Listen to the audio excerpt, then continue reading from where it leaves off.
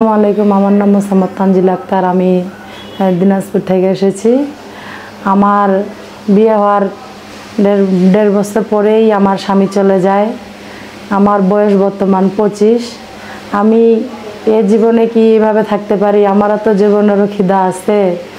তো আমি মানে প্রবাসী ভাইদের কাছে একটা অনুরোধ যে আমার দিকে একটু তাকান। আমার দয়া বুঝে আমার একটু দায়িত্বটা নেন। আমার তিন বছরের একটা বাচ্চা আছে তারও দায়িত্ব যেন আপনারা নিতে পারেন। তো এটাই আমার এটাই আমার কাছে আচ্ছা স্বামীর কি হয়েছিল? আমি কালো একটু দেখতে তার জন্যই আমার স্বামী আমাকে ছেড়ে চলে যায়। আমি তখন আট মাসের প্রেগনেন্ট ছিলাম। মানে প্রেগনেন্ট অবস্থায় হ্যাঁ সে আমাকে আট মাসের প্রেগনেন্ট অবস্থায় আমাকে ফেলে চলে যায়। আপনাদের বিয়েটা হয়েছিল কীভাবে? আমাদের বিয়েটা হয়েছিল, আম- আমাকে আমার নানা নানিরা মানুষের বাসায় কাজে রেখেছিল। ওইখানে কাজ করতে হয় ঢাকায়। তো ওইখানে একটু দেখা শুন- দেখা দেখির মাধ্যমে দুইজনকারই ভালো লাগে। ভালো লাগার মাধ্যমে বিয়েটা হয়েছিল। তো আমি তো ওকে মন থেকে ভালোবাসতাম, সে আমাকে কীভাবে ভালোবাসতো সেটা তো আমি জানি না।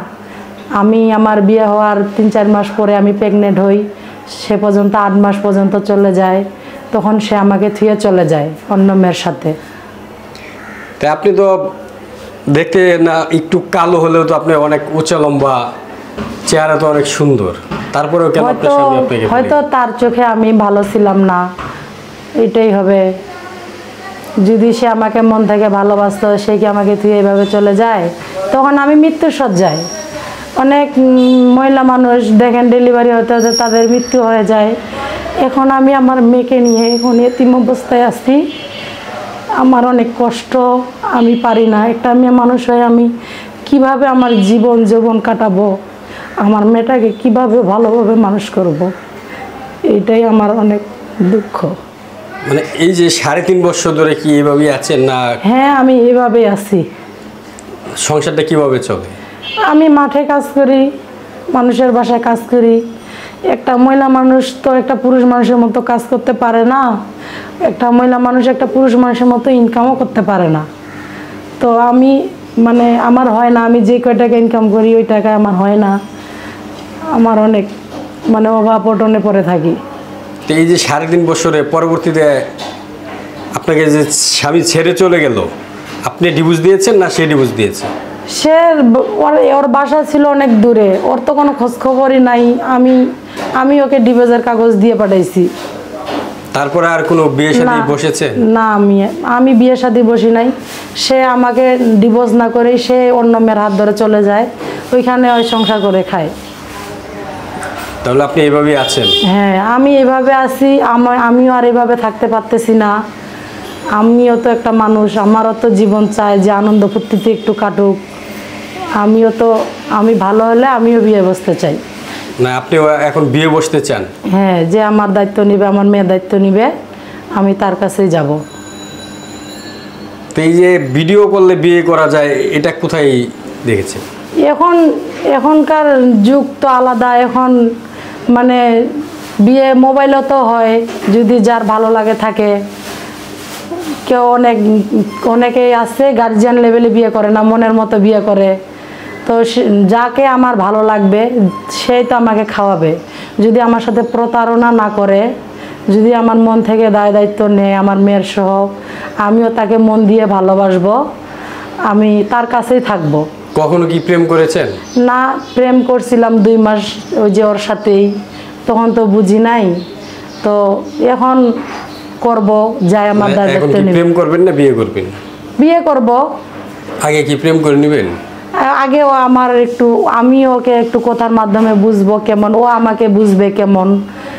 ওর মনটা যদি চায় ও আমাকে করবে আমারও মন চাইলে আমি ওকে করব। এরকম। আচ্ছা।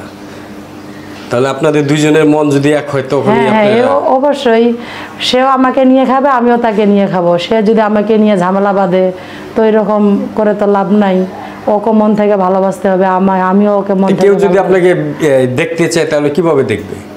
আমার কাছে টাচ ফোন নাই সে আমাকে ফোন কেনার জন্য টাকা দিবে। আমার কাছে বাটম সেট আমার কাছে টাকা নাই তার জন্য আমার কাছে টাচ ফোন নাই। তা আপনার সাথে যোগাযোগের কোনো ব্যবস্থা আছে? যোগাযোগ যোগের ব্যবস্থা বলতে ওই যে আমার মোবাইলটা। Zero one seven three nine three one seven eight nine four.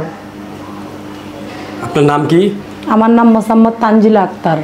দর্শক তানজিলাকে কেউ যদি ভালো লাগে কারও যদি তাকে বিয়ে করতে ইচ্ছুক হন তাহলে তার সাথেই যোগাযোগ করবেন।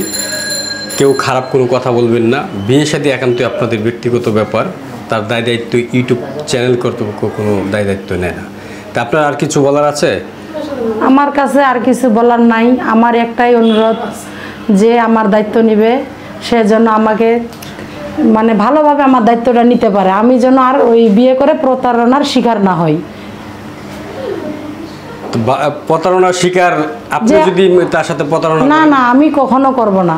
আমি তো একটা মেয়ে আমি তো চাই যে আমি ভালোভাবে সংসার করব। আমি ভালোভাবে সংসার করব যে বিয়ে করবে তাকে দেওয়ার মতো আপনার কিছু আছে? না আমার দেওয়ার মতো কিছু নাই।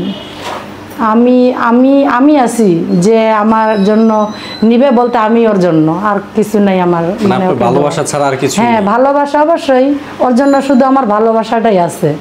সে ভালোবাসা দেওয়ার মতো হ্যাঁ ভালোবাসা দিব ভালো শারীরিক ভাবে সুস্থ আছেন তো? হ্যাঁ শারীরিক ভাবে সুস্থ। শারীরিক ভাবে সুস্থ আছেন? তো ঠিক আছে আপনি ভালো থাকবেন।